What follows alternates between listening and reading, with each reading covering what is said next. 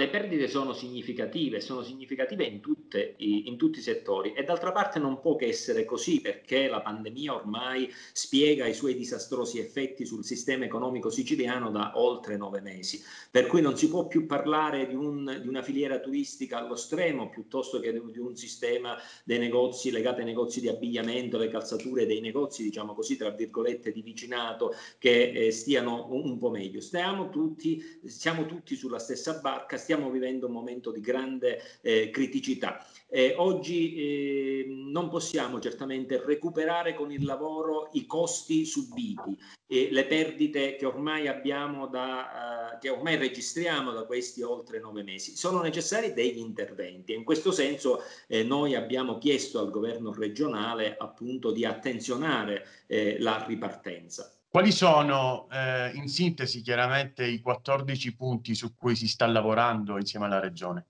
Guardi, eh, più che andare nel dettaglio dei 14 punti, perché saremmo eh, probabilmente eh, fastidiosi nella, nell'elencazione, noi partiamo da una considerazione, da una richiesta primaria, che è quella di capire cosa il governo regionale e in generale la politica intende fare in termini di ripartenza. Qual è il piano di ripartenza? Quali sono le azioni che possono consentire alle imprese siciliane di poter eh, ripartire in, da una situazione che, come ho detto poco fa, è di estrema crisi e di grandissima difficoltà. Oggi non, è, non, non, non stiamo discutendo di recuperare un 10% di perdite. Qui stiamo eh, discutendo di recuperare a secondo dei settori perdite che vanno dal 70 all'85%. È chiaro che occorre un nuovo piano Marshall, occorre un piano strategico che abbia i piedi per camminare. Noi non possiamo più certamente muoverci per emergenze, non possiamo più certamente pensare di eh, poter recuperare semplicemente eh, con la buona volontà delle imprese e degli imprenditori e con, e con una serie di eh, buoni propositi propositi da parte della politica. No, occorrono dati certi, un programma strategico certo all'interno del quale è chiaro